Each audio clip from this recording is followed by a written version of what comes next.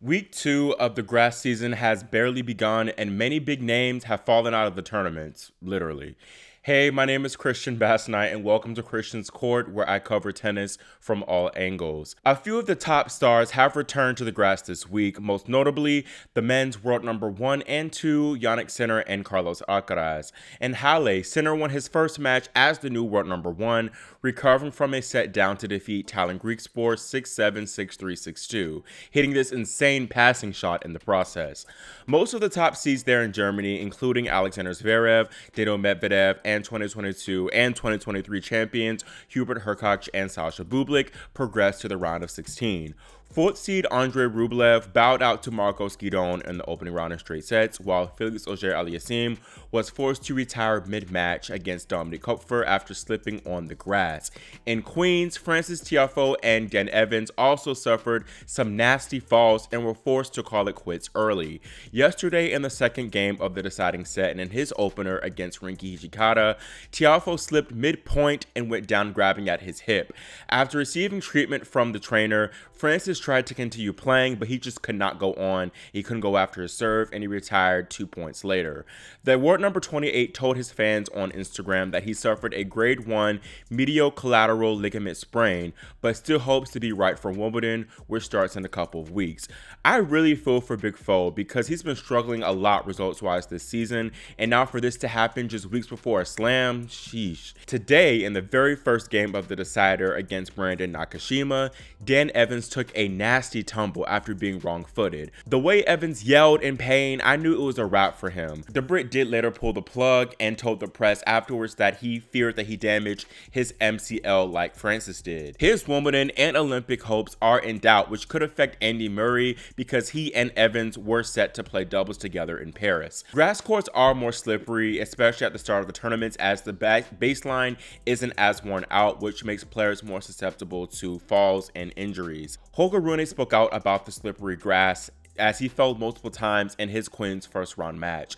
I feel like maybe the tournament should do something about the dangers of the grass, especially in the early stages of the tournament. Maybe wear out the grass before the tournament starts, but I don't know how you do that. It tends to definitely only be an issue as the tournament starts because after the first couple rounds, the grass gets more worn out and it becomes more firm and people fall a lot less.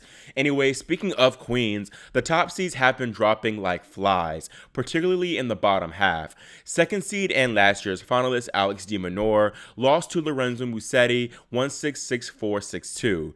Young Guns Holger Rune and Ben Shelton lost to Jordan Thompson and Giovanni Mpetshi Perricard respectively. Both Holger and Ben have been struggling with form all season, so their losses were not really at all surprising. Meanwhile, Jordan and Giovanni have been making good strides all 2024. Thompson plays five-time champion Andy Murray next, who scored a nice three-set win over Alexei Popyrin. Fourth seed Taylor Fritz as the only remaining seed in that bottom half in Queens, so that's a great opportunity for him to go deep.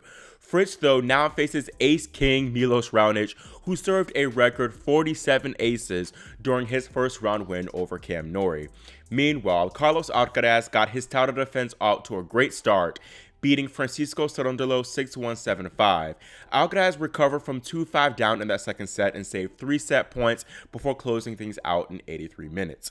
That sets up a mouth-watering round of 16 affair between he and last week's Stuttgart champion Jack Draper. Tommy Paul and Grigor Dimitrov, who are both in that top half with Alcaraz, also opened with straight set wins. On the women's side, 8 out of the top 10 players are competing in the Berlin 500 tournament, including Qinwen Zheng, who beat Naomi Osaka 6-4, 3-6, 6-3, hitting 23 aces in the process. And this marks the second time this year, I believe second time in like two months, that Qinwen has beaten Naomi as they played in the round of 16 in Italy, which Qinwen won, I believe, by a score of 6-2, 6-4. Definitely, I think that Qinwen has a chip on her shoulder whenever she does play Naomi because if you don't remember, Wim Fissette, Qinwen's former coach, left Qinwen to go coach Naomi when she was preparing for her comeback. Anyways, this loss, though, encapsulates the two main problems with Naomi in this latest comeback. First, she just cannot win tight matches. She's now 1 in 5 and 3 setters this season. And then second, the returning still just is not where it needs to be because getting ace 23 times by Qinwen is ridiculous. I'm sorry. Vika Azarenka eliminated 7th seed Maria Sakkari 6-4-6-2 and top seed Coco Gauff will open against Ekaterina Alexandrova who beat her last year in Berlin 6-4-6 love.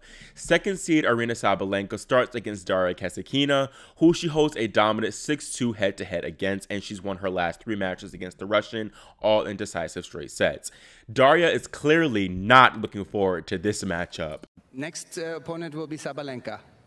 Shit. That's all I need to know. Thank you, Daria Kasatkina. Thank you very much.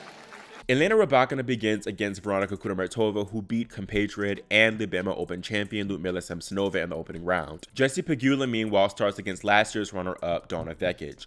And lastly, in the Birmingham 250, defending champion Jelena Ostapenko was bounced in round one by Elisabetta Cocciaretto.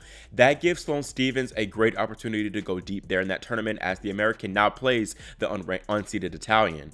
Third seed Sorana Cirstea also bounced, falling to Lin Zhu, while Barbora Krejcikova, Leylah Fernandez, and Anastasia Potapova avoided the upsets. Fifth seed Elise Mertens also progressed, clobbering Caroline Wozniacki 6-4-6-1.